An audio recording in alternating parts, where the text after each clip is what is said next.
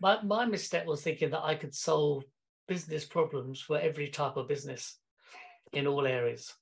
Um, so I sort of took the leap as becoming a business coach because I thought that was quite a unique role, which clearly I know now is far from the case. And so I thought I could go into the market with not very little sales experience because my job was very much back office, as it were, um, to try and sell myself as a business coach where I could go into any business um, and help them to scale and grow.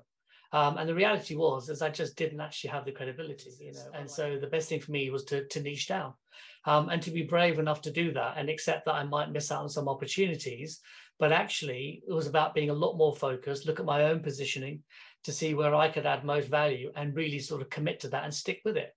Um, and yes, there was periods where you thought, okay, have I been a little bit too narrow in my focus? Um, should I be more broader? But in fact, I went further. You know, I went from saying, okay, I'm going to only focus on creative agencies because that's the businesses I understand most, um, and I'm not even going to help in areas that other people could help better on, like for instance, like business development.